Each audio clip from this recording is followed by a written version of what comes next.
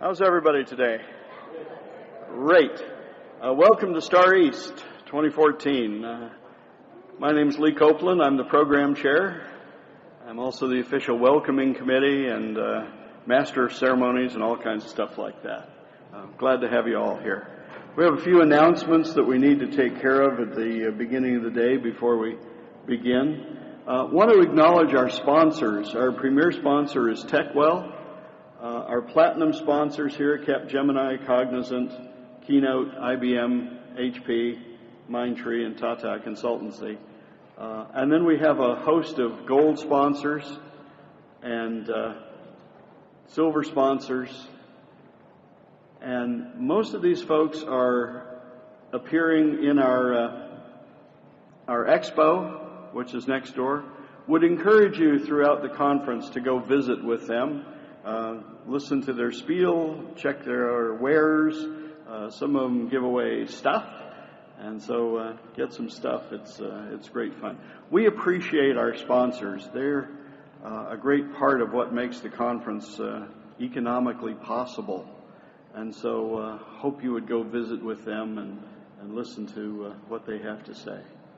I want to welcome our international delegates. If you're here from outside the United States, would you stand up? We'd, we'd like to acknowledge you. No, stand up. We want to. Whoa, look at all that.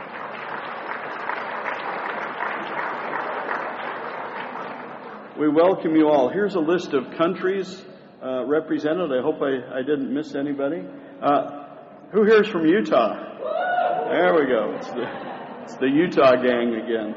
Um, that's, that's where I live these days. Uh, we welcome you here this uh, list has grown over the years, and we're appreciative of the support that we get from uh, our delegates internationally. The, the percentage of uh, speakers uh, from outside the U.S. has also grown over the years, and we appreciate that. So, welcome. Glad to have you here. Hope you didn't get hassled too much by those uh, people in the, you know, the uniforms at the airport. I want to call your attention to the program guide. You each received one of these when you registered. And uh, the important thing is it's got today's schedule in it and it's got a map of where all the sessions are. And would encourage you to really make the conference your own. Look through the, the sessions, the simultaneous or concurrent sessions. Uh, pick the ones that seem most appropriate for you and go to those. And a bit of advice that I'll give you that I gave to a group last night, and that is if you're in a session and it's just not doing it for you, you you're not getting out of it what you thought uh, you, were going to, uh, we don't consider it rude at all to get up and leave and go find a better session for you. Uh, I, I, would encourage you not to shout or scream or things like that, but uh, but uh, really use your time wisely and uh, and find those sessions that will be best for you. And the descriptions are, of course, in the program guide. I want to call your attention to a couple of uh, little ancillary features we have at the conference. First, it's called Presenter One on One. This is your chance to actually meet with a testing expert, uh, uh, people who are speaking on the program for a 15 minute slot. Uh, we're doing this today and tomorrow. Um, these speakers have volunteered their time. They're going to be sitting at tables, and you can sign up for a 15 minute slot with them. The sign up's near the registration desk. There's a big board, and you just put your name down and pick a time slot and go sit and chat. You know, the uh, testing community is a very open and very welcoming community. It's unlike some that I have been involved in in the past uh, uh, that seem to be very closed. You know, if you were not one of the top five or ten experts in the world, you just weren't welcome. That's not the way the testing community is at all. We're very open and very friendly and would encourage you to take advantage of this. And you can just chat, you can get some free consulting, you can use this 15 minutes however you like. encourage you to do that. Uh, this is the schedule for today, and you each have either underneath you or nearby you uh, a blue form that has all the details of the schedule. I don't expect you to, to write that down. Okay? We also have a Meet the Speakers lunch where various speakers have been assigned tables and they're going to talk about various topics. And you just go and sit and chat with them over lunch. And again, it's very informal and, and fun. And, and that schedule is uh, on the screen here, but it's also on the, the blue information sheet that you have. Would encourage you to do that. It's great fun. Uh, the Testing Expo is open today from 10:30 to 2, and then they uh, have to take a rest from 2 to 3:30. The expo is closed, and then it's open again from 3:30 to 6:30. Again, encourage you to go visit the various vendors, um, and see what they have to offer. There's going to be a reception tonight in the expo area between 5:30 and 6:30. There'll be free food and drink, so uh, again, you'll have a chance to visit the expo vendors there. Expo is open tomorrow, but limited hours tomorrow. It opens at 10:30, but it closes at 3. So don't plan on going there, you know, after the conference finishes tomorrow afternoon, because they will be long gone. So enjoy that. I hope you do. Uh, as you go through there, I encourage you to play the uh, Star East passport game. You'll pick up a passport as you go in the door, and you take it around to various exhibitors, and they punch it. And then when it's uh, finally full, you take it to the TechWell booth and stick it in the raffle box. And uh, today at 5:45, you have to have it in the box by 5:45. And then at six o'clock, we will have a drawing, and you can win prizes worth up to dollars and cool stuff. So, uh, but you have to be present to win. You've got to be there at six o'clock when your name is called. If you're not, and you're a winner, well, you're not a winner. Somebody else will get a chance at it. So, drawing at six must be present. Um, encourage you to visit uh, the bookstore. Breakpoint Books uh, comes to all of our conferences, and they bring scads of books, and uh, they're they're experts on technical books. Um, they have a, a lot of really good stuff there. There's going to be a book signing tomorrow. Again, you'll get the details on the blue sheet. Some of the authors will be there to, to sign their books if you want to buy them, or just come by and chat with them for a few minutes. They're happy to chat. There's a bonus session tonight I want to call your attention to. Uh, Prakash and Diane are going to talk about best practices uh, in transforming to world-class QA and encourage you to do that. That's 6.30 tonight. Uh, Wi-Fi is available here, and the uh, Wi-Fi key is, is really cryptic. It's Star East 2014, so that'll help you with that. Sponsored by Cap Gemini. Again, notice how many of our sponsors have, have sponsored things like Wi-Fi and lunches and breaks, and again, we appreciate their support. Uh, if you want the mobile app, you can download that, and I just did this morning. It's a great tool to have. So uh, I encourage you to do that. It's got descriptions of all the sessions, bios of the speakers, the full schedule for the conference, uh, everything you need in one electronic form. If you tweet, uh, follow us on Twitter. Hashtag Star East is the place to look there. Um, Sandy, would you come up? This is Sandy Sue, who is our uh, social media expert, and she's going to talk about uh, a little contest that we've got going. I think you'll find it interesting. Good morning, everyone. Thank you, Lee. So I'm going to make this really quick. As you can see up on the screen, we do have a social media contest going on, and you could win one of two great prizes. So someone's going to go home and make their kids really happy with an Xbox One or a Kindle Fire. So basically, there's really four steps to enter. You just need to follow us on Twitter, so that's Sticky Minds and TechWell.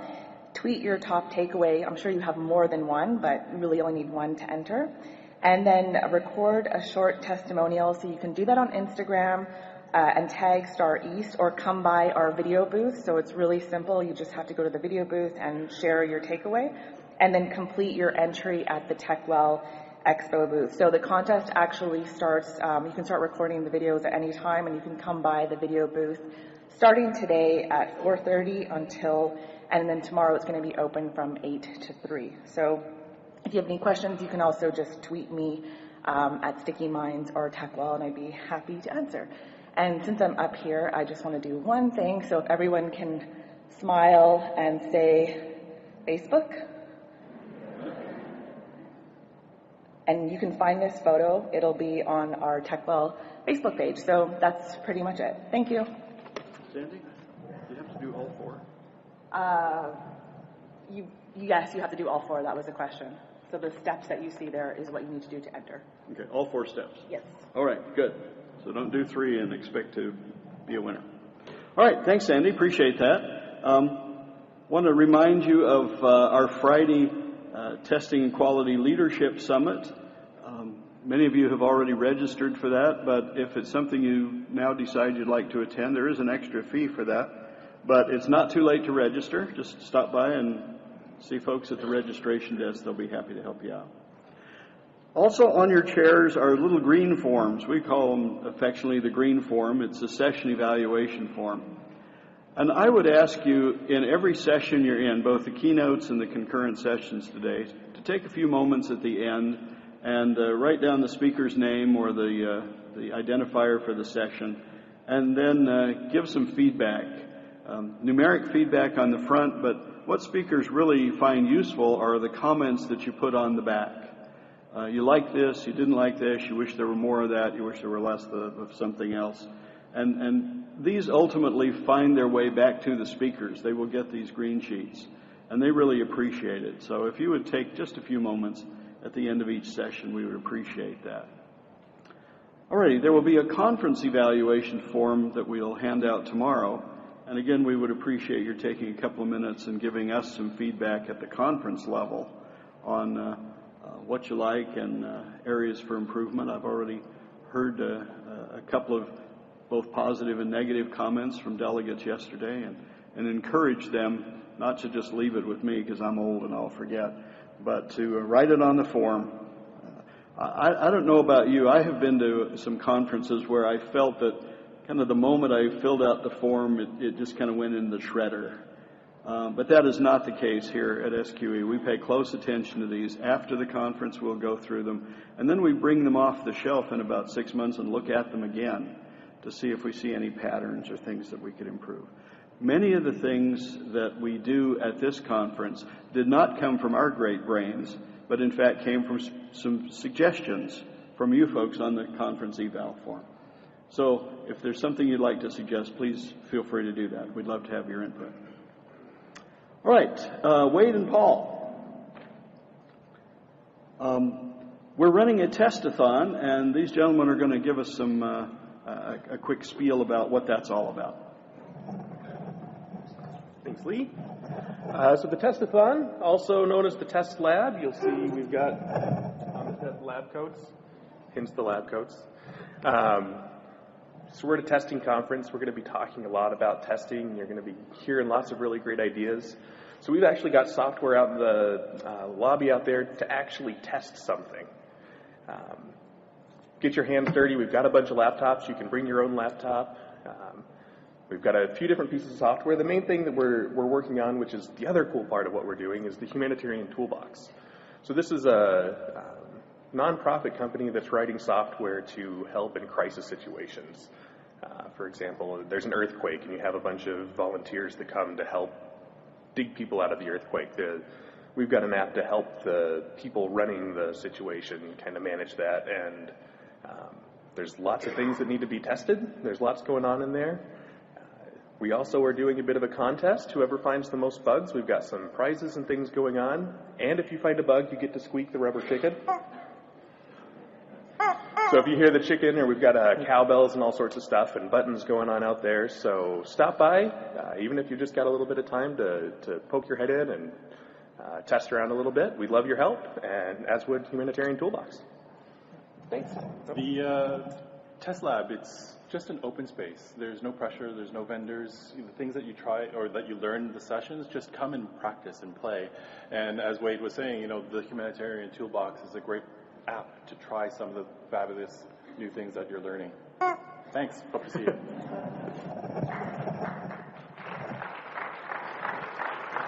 Thanks, guys. I think they had me at the chicken there. Um, this would be a good time to silence your cell phones, uh, put phasers on stun, all those kind of uh, appropriate things. Um, uh, want to now welcome the uh, the virtual conference. We've got uh, hundreds of people all over the world who are now going to join us for some of the presentations today, and we want to welcome you out there in virtual land. It's good to good to have you, and and um, Teddy Bear says hi. Um, I'm pleased now to finish the announcements and introduce our opening keynote speaker, and this is Randy Rice. Randy and I have known each other for more years than, than I can count. He's going to talk today about principles before practice, how to transform our testing by understanding key concepts. Let me just read uh, some of the official bio for Randy here. Leading author, speaker, and consultant with more than 30 years of experience in the field of software testing and software quality. Randy has worked with organizations worldwide to improve the quality of their information systems and optimize their testing processes. He's co-author with Bill Perry of a book called Surviving the Top 10 Challenges of Software Testing. And he's got another book called Testing Dirty Systems. Both of these are well worth your time. Uh, he's an officer of the American Software Testing Qualifications Board, founder and principal consultant of Rice Consulting Services, um, and, a, and, a, good friend uh, personally and a good friend of testing. It's my pleasure to introduce Randy Rice.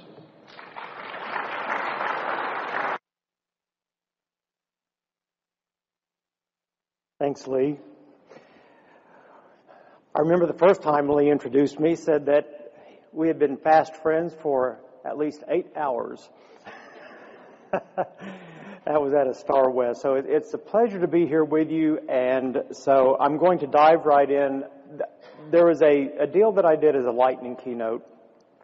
And um, it was rather popular. I think people could kind of relate to it. So uh, I want to kind of start off with this. It really does have a tie-in to what I'm going to talk about.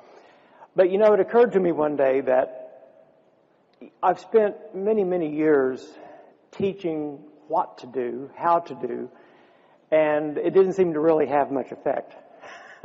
so I thought, well, maybe if I could teach what not to do, you know, and be sure not do these things, maybe that might work. So I came up with this really thing, a kind of a, a backwards logic kind of uh, top 10 list of 10 proven ways to demotivate your team. Um, how many managers do we have in the house today? Okay, you guys are going to love this. Okay, so the first one is to, you want to make sure that you set these really super hard, unreasonable stretch goals. And you do that just to see how long people will try to do it before they give up.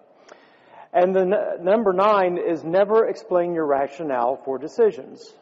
People don't need to know that. That's all within your head. You don't need to share that information. Uh, assign meaningless tasks. I mean, people have to look busy. If they're not busy, they're not happy, right? So we need that. And then no matter how good something is when someone gives it to you for review, always find several ways to criticize it. And that way, then they'll just quit trying to put forth their best effort first and just give you whatever they can give you, and you just have to deal with the results. Uh, the number six one is one of my favorites. Take all the credit for yourself. No matter how many people were involved, no matter what they did, long hours, you get the credit. And number five, solve problems by building a brand new bureaucracy. I mean, every company needs a new bureaucracy every now and then, right? Plenty of forms, you know, that you have to fill out. And then be sure to listen to your team. Kind of like a brick wall, where you have an open door policy and they come in and they talk to you and then you kind of forget what they said because you actually know best. And then uh, when someone comes to you with a good idea of how to do the job a little better, maybe a tool to use, nah, don't worry about that one. Uh, you, you, know the, your best way. And never expect your team members to get sick, you know, because they're just like robots. They never break down. Never expect them to have any kind of special needs that they have to go take care of. And finally, the number one, never ever in any circumstances give anyone praise or recognition. Okay? That is the golden rule to demotivate your team. Okay. Now I want to kind of explore an idea with you here. And the, the, the real idea behind this talk is that I, I think sometimes we try to get to the point of applying things that we've learned, and maybe even some things that we haven't truly learned before they're fully fleshed out, before they're fully baked, and even before we fully understand them. So have you ever tried to do something And then you realized, I don't know how. You know, my boss told me how to, that I needed to do this, but I have no idea. Haven't been trained, haven't read a book, or even worse, you don't know why. You, you don't know why you've been asked to do this thing. Well, maybe another thing, another way to see this would be, have you ever gone to a training class, left the class asking yourself then, what did I really learn? You know, and some of you guys have already been here two days, right? You've gone to two days of tutorials, great tutorials, and um, I always tell the people when I do a Monday tutorial that, believe it or not, today, just four days from now, will be a faint memory in your mind. Okay? So you need to do things to anchor the information and to, to really be able to uh, maybe even better, two weeks or three weeks from now, remember that day I was sitting in that tutorial session or that track session or that keynote session? What was the big thing I picked up? Now, why is this important to you? Well, I believe it will truly transform your skills, your career, and I don't have it on the slide, but therefore your life. Because I think once we learn how to learn, and that it's not just this quick and easy process all the time. That I, I, think we can really embrace and do the work it takes to really truly master something. And the something I'm talking about is testing. I, I have a feeling that we've kind of drifted a bit in how we practice testing. And it's no one's fault. It's just that we tend to apply things in many different ways and we kind of play around with techniques and we really sometimes don't take the time to really get our heads into the techniques. So I, I heard an analogy one time. This was many, many years ago. You know, it, it's funny how so many of my stories start out that way. Many years ago. Uh, but I heard a, fellow talking about the idea of principles. And he said, if I wanted to teach you how to wash dishes, uh, and do it in a very methodical way. I could teach you how to wash fine china, flatware, sharp knives, uh, plastic dishes. I could teach you how to deal with every kind of situation you would need to know to wash a dish. Uh, and all the utensils and the cookware, or instead, I could teach you principles and then give you the ways to adapt those methods to the things that you're working with. Now, of course, some Weisenheimer typically says, I just throw them in the dishwasher.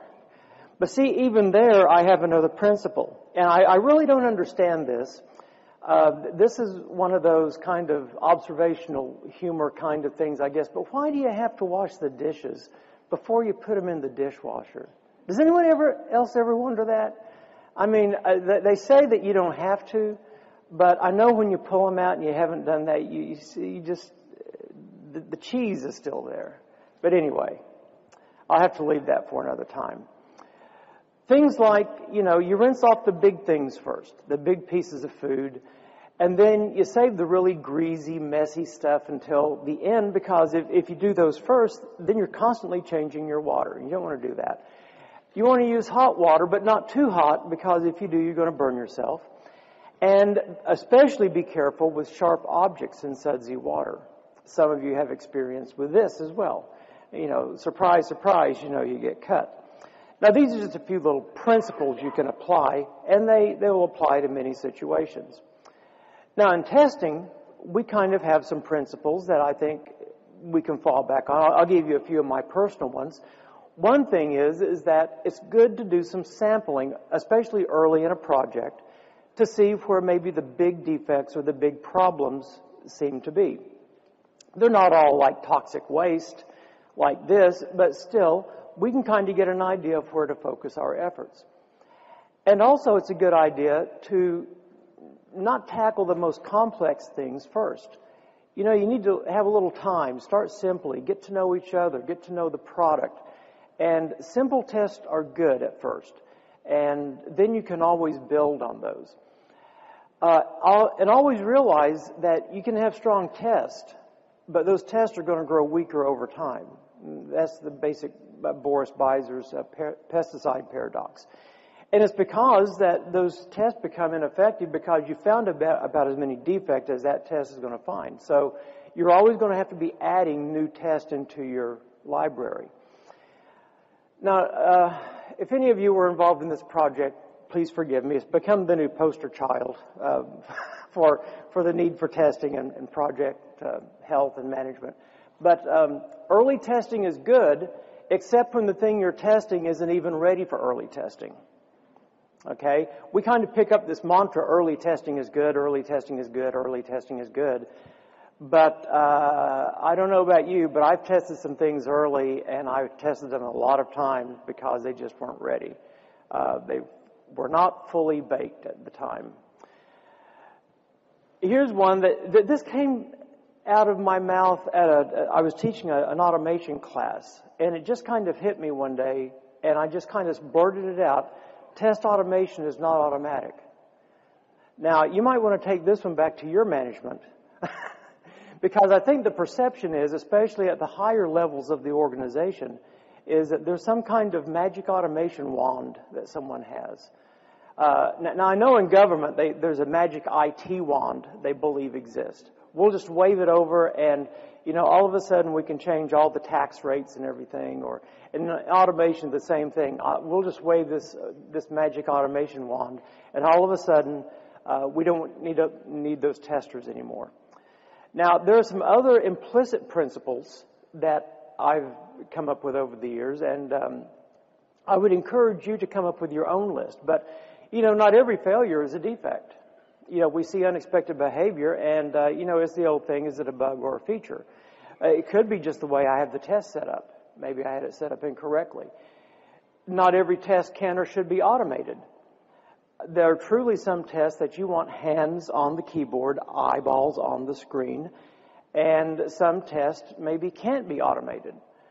So this expectation of 100% automation is really kind of unrealistic when you think about it. And test automation doesn't replace the need for manual testing. There, as I said, there's still needs for that. And basically what happens is, instead of getting rid of the testers, you know, like management may want to do, what it does is it shifts skills and it shifts roles. And here's one of my favorites. It doesn't matter how good your test is if you're testing the wrong version. Uh, you guys have been bit by that one, I can tell. Um, see, this is the tie-in between configuration management and testing, and configuration management is that thing that we often are challenged with because everything's changing all the time. And so therefore, you know, it's kind of easy sometimes to pick up the wrong version and start testing it. Now here's what we want, okay? I'm gonna, I'm gonna speak for you. But I'm going to speak for you through the people that I have heard from, and this is kind of the general idea they express. They want to go from a level where they have little knowledge about something, whether it be testing or whatever, to this level of mastery in about a week. or less. Eye, eyeglasses in about an hour, okay? Now, eh, what you know, we expect this to happen, and our management sometimes expects this to happen, and so they will schedule a two day course at least once a year uh, for you to go to. And of course, that's not nearly enough time for training and to be effective in, in learning. Uh, it's, it's really more like immersion and repeated dosages and just going and continually learning. Uh, this is really more what it looks like. And uh, I don't know about you, but I hate this game. I hate Candyland, and I'll admit it in front of you, God, and everybody, online audience. The, the reason, I don't know about you, if you like this game or not, but, you know, I play it sometimes with my grandkids, and, you know, you go along the little path there, and you land on a color, and you may actually advance some colors, but what happens on some colors? You have to go all the way back. You know, you have to go all the way back to the beginning, and it's really kind of hard sometimes to reach the total end of this game. And sometimes I just give up. I say, you kids go ahead and play. I'm going to, you know, Papa's going to go do something else right now. So uh, I had an occasion uh, a few months ago to uh, work on a very involved test design of a very complex system. And so a friend of mine uh, was working with me to design these tests. And if you've ever hung around me very much at all or been in my classes, you know my big deal is to get the most testing from the fewest number of cases. Okay, I, I see very little value in having large numbers of, of test cases just for the fact that we can say we have large numbers. I try to get the biggest bang for the buck. And we would we were trying all kinds of things to really get to the best set of tests that we could. And I would, you know, I'd write out a kind of a little sample test, and then Jim would too, and I'd say, no, that won't work. Why not? It won't scale. Oh, okay. So we tried a few other things. That won't work. Why not? It's too complex for the users to perform. And so we kept going back and forth on this, and it, I just really came away with, once again, this reinforced idea that you know, testing is very nuanced. There are a lot of variables on your projects that allow you to, or force you actually, to select certain techniques over others, maybe apply a technique you've used for years differently and in a new way. And so really, in, in essence, all testing is context driven because there are a variety of things, and some of them are very, very small things that require you to make a big change in how you do your testing. And so, uh, here's how it typically plays out when it comes to training.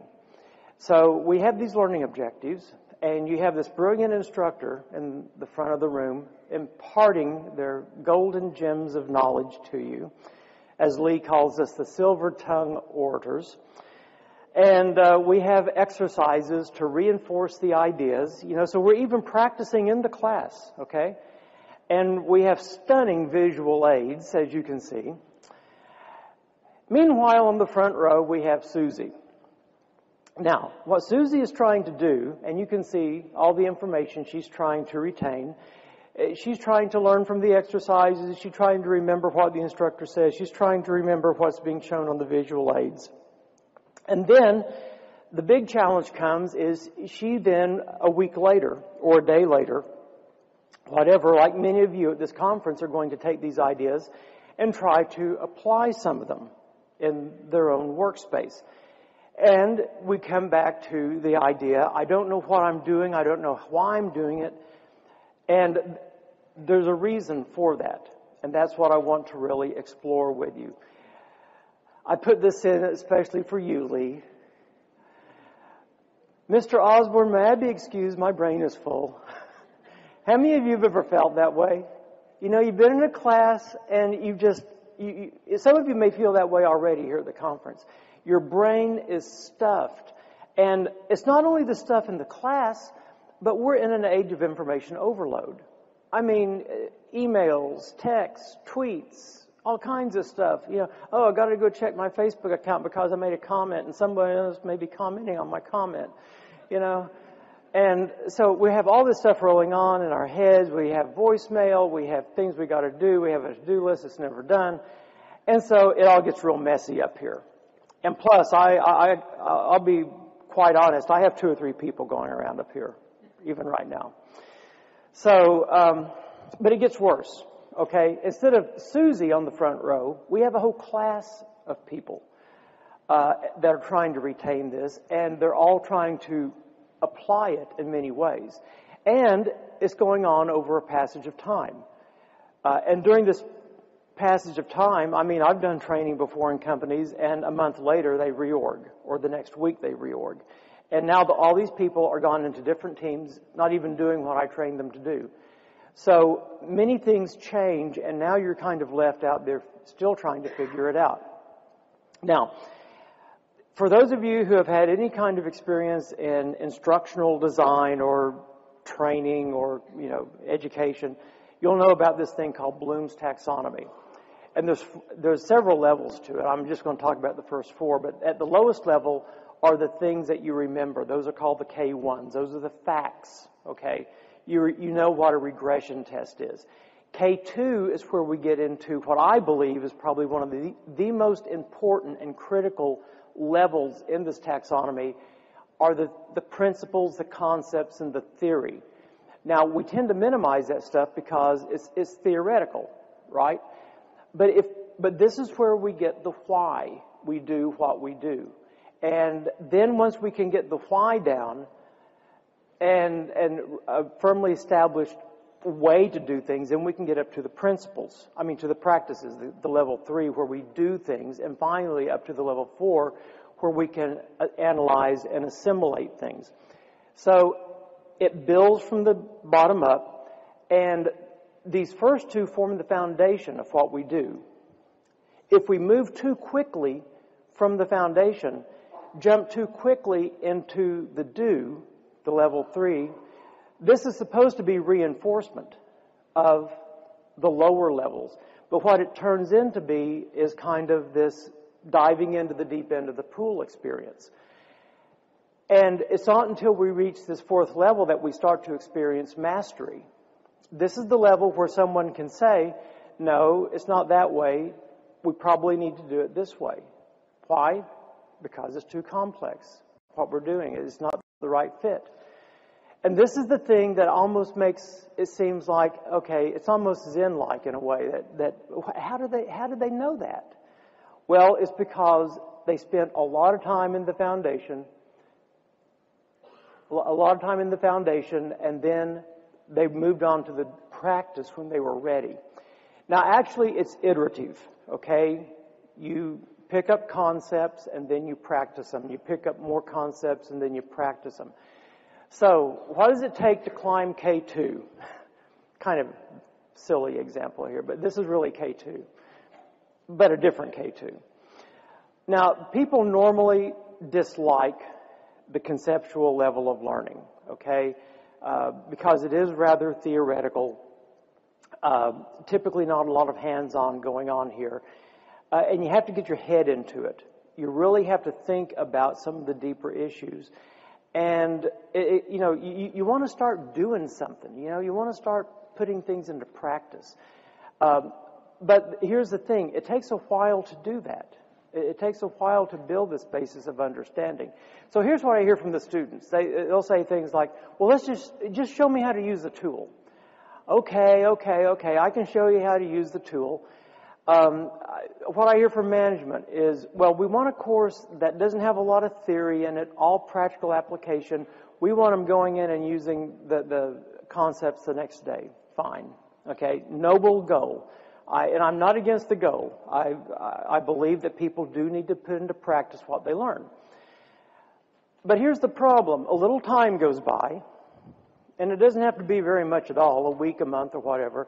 Then I start to hear things like, well, we don't really know how to design the test for our applications. You know, the case study was was for such and such, and we we need to learn on our stuff. So, you know, I tried to teach them on their applications, but sometimes that's even impossible because even in the same company, everyone's coming from different areas. And so if I focused on one of their applications, I'd be leaving out the others. The managers will say, well, the students passed the exam, but they're still struggling in how to perform the techniques. Yeah, that was because we were cramming to take an exam. We were not really trying to focus on reinforcement of practice and concepts. Now, let's take a little branch off here for a minute. Think about this. And this really surprised me when I first learned that Tiger Woods has a golf teacher. Now, for those of you who play golf, I'm sure it makes perfect sense. I don't play golf, but I thought, you know, this guy should be giving lessons not taking them. And you can see the the teacher is you know showing showing him the you know, correct positioning of his head and everything. And but it's not just Tiger Woods; it's other champion level athletes, swimmers, baseball players, basketball players. They all have coaches for the thing that they do. And the reason for that is the coach brings objectivity, accountability, because they'll ask, "How much have you practiced today?" Not this week, but today. And they, they have a context that the player doesn't have. They may have been in a dozen championships, and this may be the player's first one. So they kind of bring this bigger uh, learning to the to the person. Now, th- there's also another example I would like to give you from music. Now, it's possible to learn how to play an instrument simply by mimicking someone else.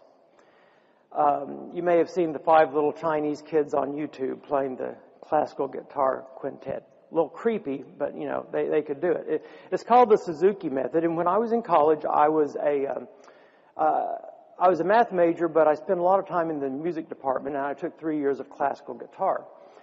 And my guitar teacher used me as kind of his test subject. And so he taught me by the Suzuki method. And I could play several classical pieces and I would play in recitals and juries and things like that. And he was showing me off to the other teachers. At times it kind of felt weird, like, do I need to go, eh, eh, eh, you know? but it does work. Now, the, the problem is, you know, whether you learn how to play a song off of YouTube or whatever, you're still only able to play specific songs in specific ways. Like if you were to join up with a band and now they're going to play, I don't know, Stairway to Heaven in a different key, you're lost because you only know it in one key. Um, and the thing about it is, a lot of people don't truly appreciate that world class musicians, m- many of them, I'm not going to say all of them, but many of them understand music theory.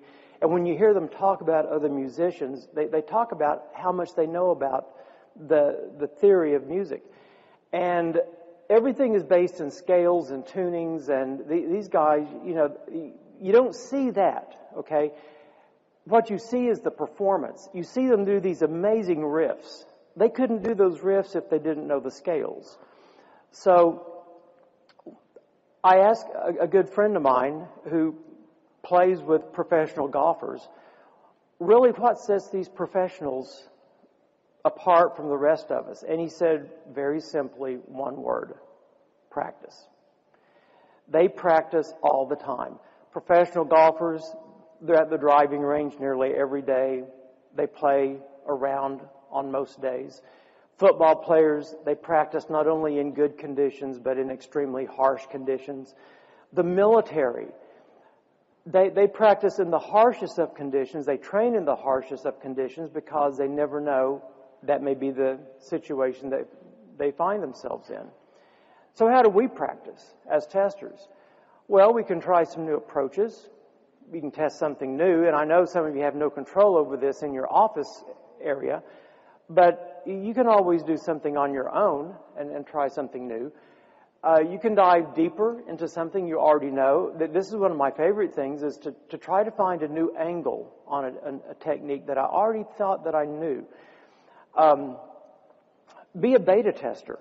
Beta test a new technology. Once again, I know you have limited time. You have things to do at home but it is a way to expand and to practice. And playing mental games, you know, just to keep your mind sharp. Games that require you to deduce things, to uh, draw connections, to associate things. Uh, th- these are all pretty good.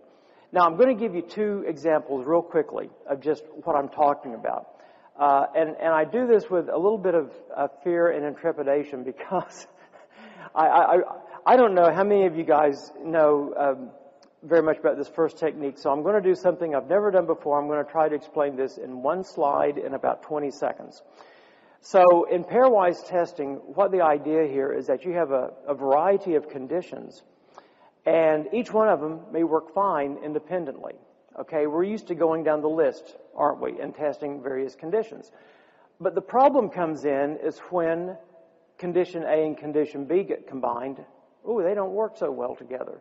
Or B and C, or A and C. So now this is very contrived. This is like three things. Think about if you have hundreds of conditions that could all be associated like this, and the number of combinations is like astronomical. Well, uh, the, the idea here is that the research has shown that most of the defects we miss, and there's been at least, I think, 20 projects now, 20 research studies done on this. Most of the research shows that about over 90% of the defects we miss in testing could be found just by testing the unique pairings. Okay? Now, oh, I'm sorry, I have a question. Why do we need to know this? Oh, okay, good question, Timmy. Here's an example that James Whittaker has in his book, How to Break Software. And, and this is an example that I love to give to people, and they say, I'm going to take this today to my manager. I'm going to show it to him. So, this is the Internet Options dialog from Internet Explorer if you go there to set your browser options and you click on this crazy advanced tab, you'll see somewhere, depending upon the version of Internet Explorer you're using, 53 binary conditions, checkboxes, uh, one set of radio buttons with three options, one set with four options. And so the formula there is 2 to the 53rd power or 9 quadrillion plus times 12 gives you 108 quadrillion plus possible combinations of conditions. Okay?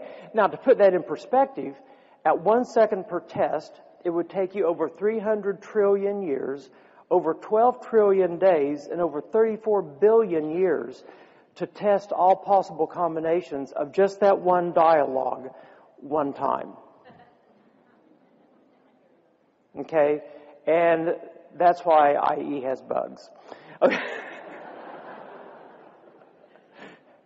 and it's why uh, we can't do complete testing. We run into similar problems. Now, I know this is an extreme case of compression here, but I took the very same problem and put it into pairwise, and with some very complex test cases, mind you, 53 conditions and then two others, 54, 55 conditions, I could come up with seven uh, test cases with just all the unique pairings. Now, this makes some people really, really happy and excited. Okay, some people say, "Yay, this is going to be our main technique now. Yay, we've we've we have uh, split the atom," and it scares other people to death because they say, "You mean to tell me you went from 108 quadrillion down to seven?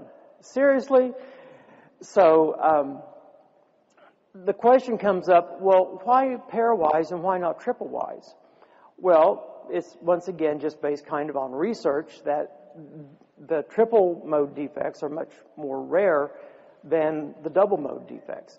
But here's kind of the, the interesting good news is it's possible to do both. Okay?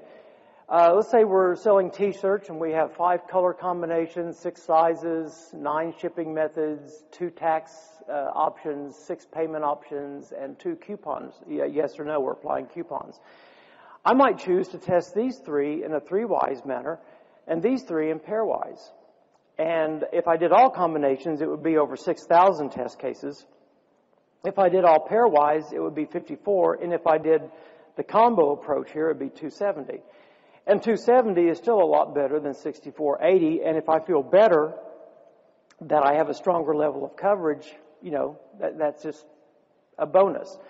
Now, there are some tools. This is from uh, the ACTS tool from NIST, where you'll see there in red where you can actually choose that I want to do a mixed strength and I can pick which parameters I want to apply that to. Now, if you want that tool, it's free. You just go out to Google and Google ACTS tool NIST and you'll find it. You have to email uh, Rick Kuhn to get it, but but once you get it, you can run it on Windows, and it's a it's a neat little interface, and will do the job for you. Now, in pairwise, there are some considerations. Not every combination will work out logically. Okay, so like if I if I was testing a real estate application, and condition one was where I'm at, like urban or rural. Condition two is what kind of building it is, high rise versus ranch. And condition three is does it have a pool or a pond? I run into test case three that has a rural high rise. Now, I don't know, there could be some, you know, Illuminati genetically modified food organization building a skyscraper out on a farm somewhere. I don't know. But it may be an unfeasible combination. But here's another spin on it too. I had a client that was working on a very similar situation and no matter what we did because they had 15 broker types, we would wind up with over 2,500 tests. One day someone looked at it and said, hey, you know what? We can take those 15 broker types and actually come up with five equivalence classes. And just that one thing, no pairwise involved at all, took us down 67% to 840. So what I'm getting at here is if you take a basic technique and then start really exploring it, you can come up with some pretty interesting spins on how to do it. Now, you know, it becomes important how we factor things together, of course, and we need to know what are correct outcomes. Maybe there is a provision for a high rise building on a farm. But before diving into something, a particular technique, you always have to ask, does it make sense in the situation? And are we willing to deal with the downsides? Like in pairwise, do we use these as negative tests or what? And really importantly, what do the stakeholders think about these techniques? And are we willing to accept the trade-offs? Now, real quickly, the number two uh, example is risk-based testing. And we all do risk-based testing. You know, it's like packing a suitcase. You put the big important stuff in first and the little important stuff in around that, and hopefully you can get everything in the suitcase.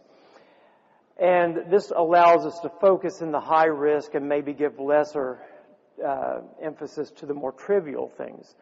Uh, and it also helps us identify new risk and trace them through the test. But what if everything you test is a high risk.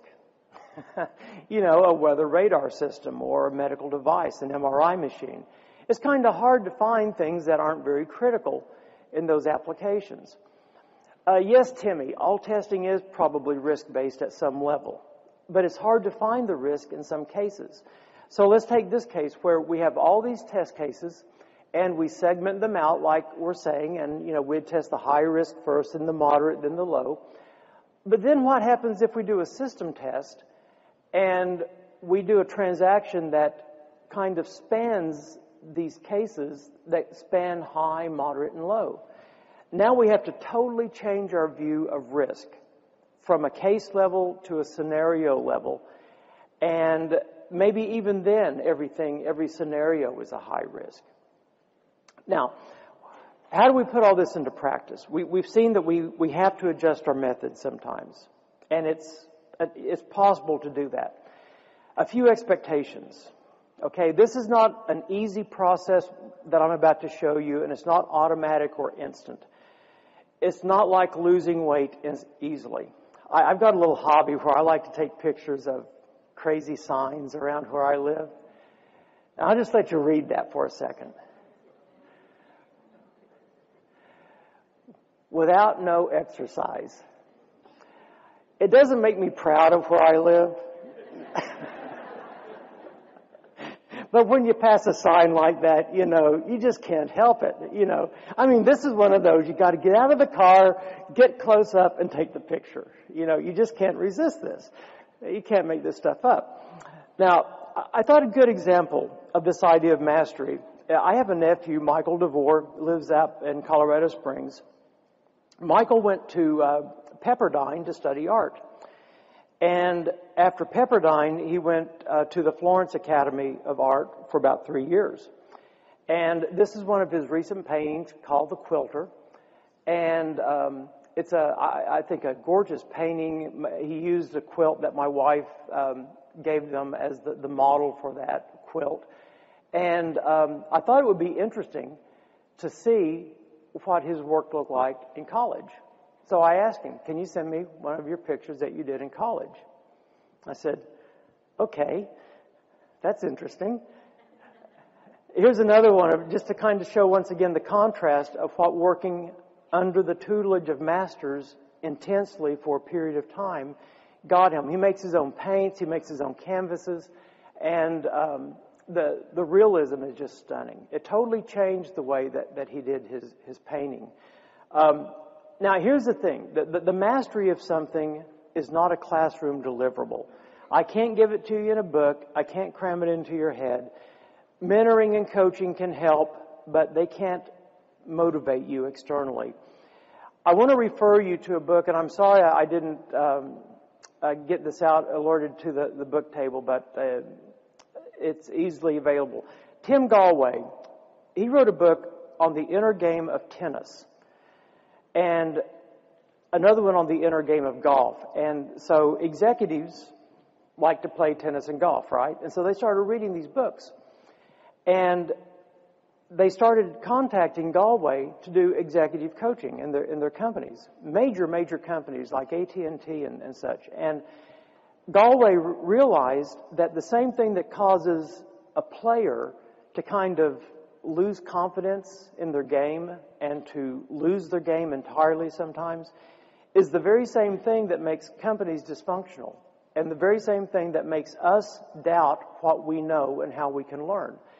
So he came away with some practices of, or some observations of what he's seen in players that he's coached. And the thing is, he says, you know, I can teach a tennis player how to hold a racket. And I can sit there and say, you're doing it wrong. But the player, they know what feels comfortable to them. And eventually they're going to wind up doing what feels comfortable to them or they're going to resist what you're teaching so much that it's going to be ineffective. So the coach that I just spoke so highly of can provide tips and advice, but you know best what works for you. And in fact, coaching, un- unless it's fact based and non judgmental, can maybe do more harm than good. Um, this is really a mental process more than anything else, and I want to introduce you to two people. And in Gallwey's book, he calls the first one Self One. Now, this is your critical inner voice. This is the one that says you're doing it wrong.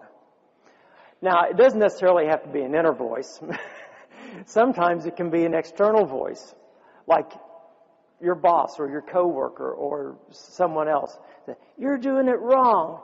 Now, self two, this is the one that this is your true self, knowing the things you know, the best ways you work, where you're comfortable, and as they're saying you're doing it wrong, you're saying, yeah, it doesn't feel right, but I don't like your way either. And so what happens is something called interference. And the interference coming from self one causes self two to fail because it's always there in their head. Now there's a little formula, very complex formula. Capital P equals lower p minus I. What in the world does that mean? Performance equals potential minus interference. And what Gallwey says is a little self-doubt, an erroneous assumption, the fear of failure was all it took to diminish one's actual performance. So the more you have the negative self-talk coming in, the more it's going to impact your performance negatively. And so he has this magic triangle. Three things you need for change. You need awareness, that you see the situation with clarity, you know what deal you're in, okay? You have to make a choice to go in the right direction or to go in a desired direction. And you need to trust in your inner ability to do this. Now, once again, this is not a linear journey. You know, this is more like Candyland. But it kind of looks like this where we go from level to level.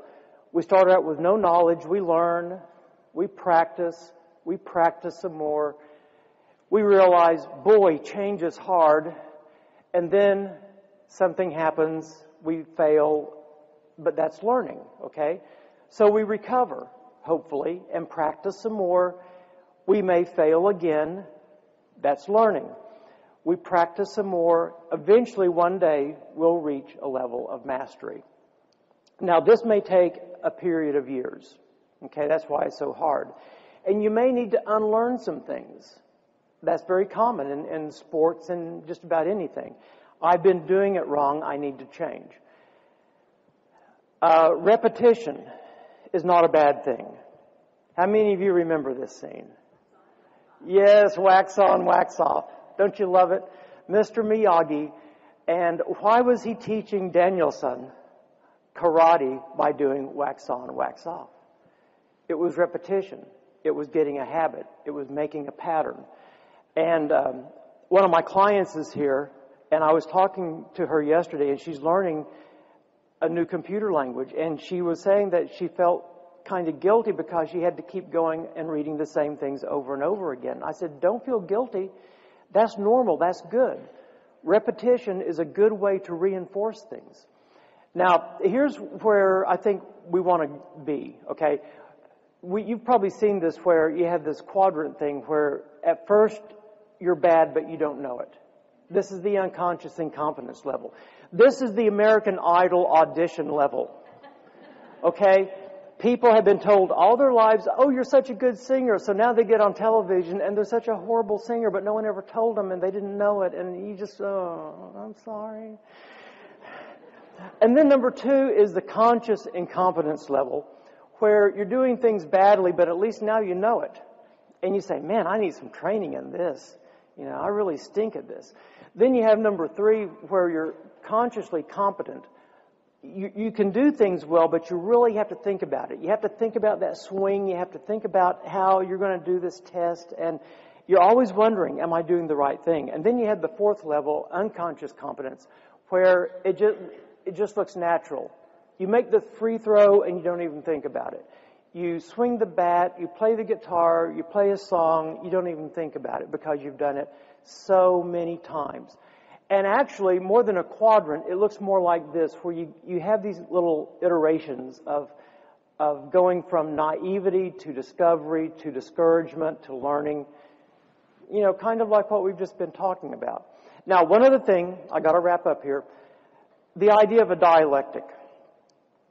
F. Scott Fitzgerald said the first or the test of a first-rate intelligence is the ability to hold two opposed ideas in mind at the same time and still retain the ability to function. The reason that some of us can't see other options, and this applies at the personal level as well as the organizational level, is we can't see the other side because of biases. So we have one technique we see as bad, one technique we see as our favorite. Both have good points, both have flaws. The reality is both can be helpful in certain contexts, but we don't see it because we're too immersed in our own view. Like some people hate test plans. They think they're not worth the time. Other people think test plans are great because they define the scope of testing. Both can be true. Test plans can be helpful, but they're only a plan. They may not work out as planned. You know, it can be concise. You don't have to waste a lot of time with it. That's probably the more reasoned position there. Now, I have a thing about implementing these things naturally. Okay? I think if you try to roll out too much too soon, you're going to fail. So I prefer kind of a natural way to grow. Now, there are two options. There's the organic approach. I don't know if this house was in Colorado or not, um, but there's a lot of stuff growing there. And it's kind of out of control. Maybe some of it's smokable, I don't know. But anyway, it's, it's just everything growing up, and I've been in organizations where that's how their testing is. Versus what I call the planned organic approach, where it's like a garden, and you have things laid out, and you know what can grow where and when. You know, you know what requires shade and what requires a lot of water and a little water. So the planned organic is a natural way to implement learning, implement practices into your organization a little at a time, and you get better and better, and you don't try to do everything at once across a hundred people or whatever. So the final thought here, which is good because the clock is down to zero. Uh, Malcolm Gladwell, of course, he's written some really, really great books, and the Outliers book, he, he makes the observation that the 10,000 hour rule is a definite key in success. And what he means is if you do anything for 10,000 hours, you know, that's a definite demarcation point for people who are very good at something. You may wonder why I have a picture of the Beatles up here. Well, from uh, 1960 to 64, they went, they made three trips over to Hamburg, Germany. I took a college course on the Beatles when I was in college. It was a liberal arts college, but still. Uh, I don't know. The Be- learning about the Beatles was amazing. But anyway, they performed over 1,200 times, amassed more than 10,000 hours of playing. Before they started playing in Hamburg, they were known as the worst band in Liverpool. Maybe the worst band in England, I don't know. But when they came back from Hamburg, they were the best band. And because they were playing seven days a week, many times eight hours a day, they would play anything and if you can find some of those early recordings and records, uh, you know, th- there's no doubt about that. Okay, now it's time to put this into practice. I'm going to challenge you to do something. Uh, in your conference bag, you have a, a book of notes uh, or places you can take notes, okay? The, the sessions you go to, I'm going to challenge you to take at least one or two things away out of that session, write them down. Don't let them roll around in your head. Put them on paper. Even if you don't think you're going to act on them right away, write them down. And at the end of the conference, if you can find about 10 minutes, 15 minutes, make a list of about 10 or 12 of them. and draw a couple of lines in there. One that will demark the short-term things you can do in about maybe two or three months. Another line demarks the midterm, and the other one will be the, the long term, the year or more. Now, personally, uh, and this will be in your slides, in your notes, you can see this. I've come up with my own set of principles that I like to apply, like for test automation, for test design, for test evaluation. I would challenge you to arrive at a list, a set of your own principles. Not just a list of things to do, not just the things to try and fail at, a list of your own principles with your own implications, the way that you can do things best. Because what that's going to do is it's going to empower you. Okay? Regardless of what you have permission to do at work from your boss, you can still do this. Okay? You can do this for you. You can do this for your own learning and for your own profession. And with that, I say thank you very much.